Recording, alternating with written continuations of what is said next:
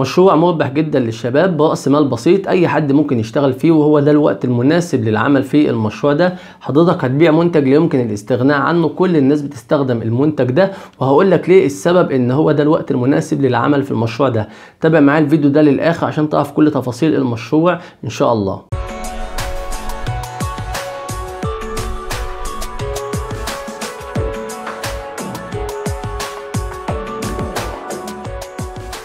بسم الله الرحمن الرحيم. اللهم صل وسلم على سيدنا محمد. أهلا بكم في فيديو جديد ومشروع جديد على قناة ضحات مشروع النهارده مشروع مربح جدا للشباب مشروع كويس جدا أي حد ممكن يشتغل فيه. المنتج اللي حضرتك هتبيعه منتج مطلوب طول السنة بس الأيام دي بيبقى عليه ضغط كبير جدا. قبل ما قبل ما نقول فكرة مشروع النهارده أحب أفكرك لو لسه ما اشتركتش في القناة شرفني واشترك في القناة وفعل زر الجرس على الكل عشان يوصل لك كل جديد. اضغط لايك لو عجبك الفيديو اكتب لها تعليق لو عندك أي استفسار عن مشروع النهارده. مشروع النهارده إيه يا جماعة؟ باختصار بدون إطالة في الكلام هو مشروع محل لبيع الألبان والجبن والزبادي. مشروع كويس جدا. النهارده هنقول كل التفاصيل والمعلومات عشان تبدأ تشتغل في محل لبيع اللبن والجبن والزبادي. مشروع كويس جدا وما شاء الله. ليه بقول لك الأيام دي المشروع ده كويس أو ليه ليه المفروض المشروع ده يتفتح الأيام دي؟ أول حاجة عشان حضرتك داخلين على رمضان فالمنتجات دي تتباع بكثرة كبيرة في رمضان بكميات كبيرة جدا. هو مشروع شغال طول السنة بس بيتباع في رمضان بكميات كبيرة جدا. فده هيبقى يعتبر زي نظام تسويق لك وتعرف الناس كلها اللي المحل ده بيبيع ألبان وجبن وزبادي.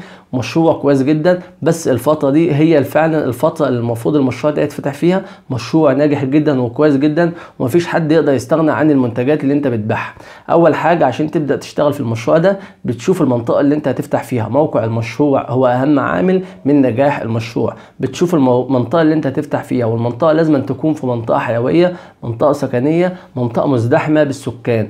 هو ده المكان المناسب لفتح المشروع فيه. بعد كده بتشوف مساحة المحل اللي انت هتبدأ تشتغل فيه والمحل لازم أقل مساحة له 30 متر. ليه المحل 30 متر؟ أنا شايف إن محل 30 متر مساحة كبيرة عشان المعدات والماكينات اللي انت هتحتاجها في المشروع معدات كبيرة وحجمها كبير. فلازم المحل أقل مساحة 30 متر من 30 متر ل 40 50 حسب المحل اللي متوفر عندك. بس ما بيقلش عن 30 متر. بعد كده بتشوف التراخيص المطلوبة والتراخيص اللي هي إيه؟ السجل التجاري والبطاقة الضريبيه وترخيص بالمشروع. دي دي التراخيص اللي هي بتحتاجها في كل مشروع. بعد كده بتشوف المعدات اللي انت هتبدأ تشتغل فيها. بس في معلومة حابب أقول لك عليها. لو حضرتك المحل ما فيهوش مية بتوصل له مية عشان المية من ضمن الأساسيات اللي هتحتاجها في المحل. وكمان بتعمل يافطه بتعرف الناس انت بتبيع منتجات إيه. بعد كده بتشوف أول حاجة بتجيبها في المحل اللي هي الماكينات والمعدات اللي انت هتبدأ تحطها في المحل عشان تبدأ تبيع إن شاء الله. أول حاجة هي ثلاجه العرض. وثلاجه العرض في دي في منها مقاسات. ثلاجه العرض يعني في منها مقاسات في متر ونص في 2 متر وفي 2 متر في 3 متر. المقاسات كتير جدا. وثلاجه العرض دي سعرها بكام؟ سعرها يبدأ من 5000 ونص ل 8000 جنيه. هقول لك دلوقتي على أماكن بيع الحاجات اللي أنا هقول لك عليها دلوقتي دي كلها. بعد كده بتشوف المبرد والمبرد ده بيبقى وظيفته إيه؟ أو لازمته إيه؟ المبرد ده بيبقى بيعمل لك عملية تقليب للبن. طب بيعمل لك تقليب تقليب للبن ليه؟ عشان اللبن ما يتكونش عليه طبقة زي طبقة البكتيريا أو بالمعنى البلدي إن هو اللبن يبقى لبن رايب لبن يبوظ. فحته المبرد ديت بيحفظ لك اللبن على درجة حرارة ثابتة وكمان بيعمل لك حكاية تقليب بيعمل لك تقليب للبن عشان يمنع تكون البكتيريا على اللبن. ده طب المبرد ده بيتباع إزاي؟ المبرد ده بيبقى حسب السعه يعني في مبرد 100 كيلو وفي مبرد 150 كيلو وفي مبرد 250 كيلو. بتشوف المناسب لك ممكن تبدأ في المشروع بالمبرد اللي هو 100 كيلو لو حضرتك لسه مبتدئ في المشروع. طب المبرد اللي هو 100 كيلو ده سعره كام؟ سعره 5500 جنيه. والمبرد اللي هو 150 كيلو سعره 6000 جنيه. والمبرد اللي هو 250 كيلو سعره 8000 جنيه. دي أسعار المبردات. يبقى أول حاجة تحتاجها اللي هي ثلاجه العرض وأسعار ثلاجات العرض من 5000 ونص ل 8000 حسب المقاس اللي انت هتجيبه. تاني حاجة اللي هو المبرد تمام؟ آه بعد كده بتشوف اللي هو دي الحاجات اللي هي مطلوبة اللي انت هتبدأ تبيع فيها. يعني ثلاجة العرض دي هتبيع فيها الجبن والمبرد ده عشان تبيع للناس الألبان. طب بالنسبة للزبادي بالنسبة للزبادي ده بقى أنا آه الزبادي ليها مراحل عشان تتصنع. حضرتك مش هتجيب زبادي جاهزة وتبيعها لا انت هتبدأ تصنع الزبادي في المحل الخاص بيك. وعشان الزبادي يتصنع بيعدي على ثلاث مراحل. أول مرحلة اسمها مرحلة الغليان. ومرحلة الغليان الغليان دي بتبقى بتبقى محتاجة إيه؟ بتبقى محتاجة وعاء كبير والوعاء ده بتحط فيه اللبن وتحت الوعاء ده بيبقى فيه شعلة وأنبوبة غاز. يعني حضرتك هتحتاج أنبوبة غاز وهتحتاج شعلة وهتحتاج وعاء كبير عشان تسخن فيه اللبن. بعد ما اللبن بيوصل مرحلة الغليان بتعمل إيه؟ بتعبي اللبن ده في علب وبعد كده بتحطه في تاني مرحلة اللي هي مرحلة الحضانة. والحضانة دي اللي هي إيه؟ بتحفظ لك اللبن تحت درجة حرارة 60 درجة. دي بتخلي لك اللبن بت... بتنزل لك درجة الحرارة من مرحلة الغليان اللي هي درجة الغليان إلى درجة 60 درجة وبتحفظها لك على درجة 60 درجة. بعد ما بتحطها في الحضانة طب الحضانة دي سعرها كام؟ سعرها بيبدأ من 5000 جنيه حسب الحجم اللي أنت تحتاجه برضه. طيب آه بعد ما آه آه حطيتها في الحضانة حطيت الزبادي علب الزبادي في الحط في الحضانة تعمل إيه؟ بتطلع علب الزبادي دي وبتحطها في الثلاجه وبتبدأ تتباع لمدة 3 دي 3 أيام. ومدة الصلاحية بتاعتها 3 أيام. مدة صلاحية الزبادي الطبيعي 3 أيام مش عليها مواد حافظة.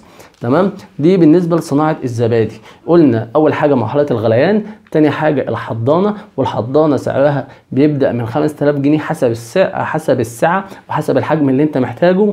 بعد كده اللي هو مرحلة التلاجة. تمام؟ آه طبعا أجيب الحاجات دي منين؟ اللي هي آه الحضانة والتلاجة وكمان تلاجات العرض والمبرد. أجيب الحاجات دي منين؟ من المهندس أحمد صبري. هسيب لك رقم تليفونه دلوقتي.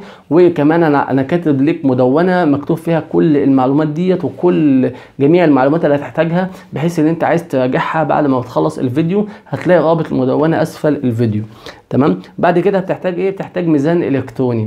ميزان إلكتروني عشان مثلا حد لو لو حد احتاج منك حاجة بتوزن له تبدأ تبيع عليه ميزان إلكتروني اللي هو الصغير اللي هو ال 10 كيلو أو ال 5 كيلو. بعد كده بتحتاج إيه؟ تحتاج أطباق فويل عشان تبيع فيها الجبن. بعد كده بتحتاج علب بلاستيك اللي انت هتعمل فيها الزبادي. بعد كده تحتاج أكياس للتعبئة واللي انت اللي انت تعبي فيها المنتجات. والأكياس يفضل يكون مكتوب عليها اسم المحل وأرقام التليفونات بتاعة المحل. طبعا في حتة نسيت أقولها لك بالنسبة لمرحلة تصنيع الزبادي. تصنيع الزبادي لازم يبقى في صنايعي هو اللي مسؤول عن حتة تصنيع الزبادي. يعني ما ينفعش انت اللي تصنع الزبادي. انت حضرتك لسه مبتدئ في المشروع ما ينفعش ان انت تشتغل في حتة تصنيع الزبادي. بيبقى في صنايعي والصنايعي ده عشان أجيبه بتجيبه منين؟ بتدخل على موقع إليكس. طبعا موقع إليكس كلنا عارفينه بتدخل على موقع إليكس وبتكتب محتاج صنايعي لتصنيع الزبادي. الصنايعي بيجي لك وبيبدأ يصنع لك الزبادي بكل سهولة. يبقى أنت هتحتاج أول حاجة عامل عندك أو عاملين. واحد بيصنع الزبادي واحد التاني مسؤول عن النظام اللي هو المبيعات والكلام ده كله. تمام؟ بعد كده بتحتاج إيه؟ بعد كده بتحتاج المواد الخام. والمواد الخام اللي إحنا هنحتاجها هي إيه؟ هي الألبان والجبن. الجبن طبعا حضرتك عشان تصنع الجبن مش هتعرف تصنع جميع الأنواع. فبتعمل إيه؟ بتروح لتاجر جملة الجملة بتاع الجبن وبتشتري منه مجموعة أو تشكيلة من الجبن بجميع أنواع الجبن بحيث ان انت يبقى عندك كل انواع الجبن موجودة عندك في المحل. دي بالنسبة للجبن. أما بالنسبة للبن بتتفق مع أي مزرعة بيجيب لك اللبن كل يوم الصبح. هو المزارع بتورد لك اللبن. انت بتتصل عليهم بتعرفهم مكانك. هم بيجيبوا لك اللبن لحد عندك. بتتصل عليهم وهم بيجيبوا لك لبن لحد عندك وبتدي لهم ثمن المواصلات وثمن اللبن. طبعا بالنسبة للبن بتجيبه من المزارع. دي المواد الخام اللي انت هتبدأ تحتاجها في المشروع. بعد كده في آه ملاحظات لازم تاخد بالك منها. أهم حاجة أهم حاجة حتة النظافة. أنا قلت في الفيديوهات كلها اللي هي خاصة بالمأكولات أهم عامل نجاح وأهم حاجة في نجاح مشروع خاص بالأكل أو المشروبات هو النظافة. النظافة مهمة جدا في المشروع. حافظ على نظافة المكان وحافظ على المعاملة الح... المعاملة الحسنة مع الزباين. تمام؟ آه في عندك برضو في حاجات ما تنساهاش اللي هي الإعلانات الورقية. بتوزع اعلانات في المنطقة اللي انت فيها والمناطق اللي حواليك بتعرف الناس اللي في محل بيبيع ألبان وجبن وزبادي في المنطقة. تمام؟ ده كان فكرة مشروع النهارده. فكرة جميلة جدا ومشروع كويس جدا. برضو اسأل وابحث قبل ما تشتغل. اسأل آه اسأل الناس هل فعلا المشروع ده كويس في منطقتك ولا لأ. هل المنطقة اللي انت فيها فعلا هتشجع المشروع ده ولا لأ. ابحث على جوجل وابحث على اليوتيوب هل فعلا المشروع ده مربح ولا لأ. لقيت المشروع شغال ابدأ وتوكل على الله. ده كان فيديو النهارده. أشوفكم في فيديو جديد على قناة رضا حاتم والسلام عليكم ورحمة الله وبركاته.